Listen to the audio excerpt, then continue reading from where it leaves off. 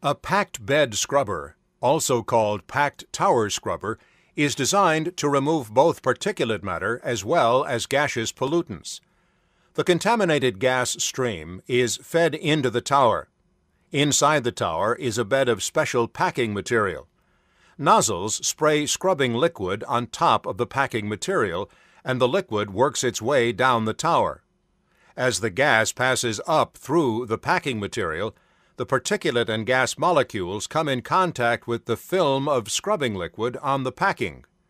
The contaminated liquid drains down through the packing material, past a packing support, and out through the bottom of the tower. The gas stream flows out through the top of the packing material, past the nozzles, and through a mist eliminator before exiting the tower.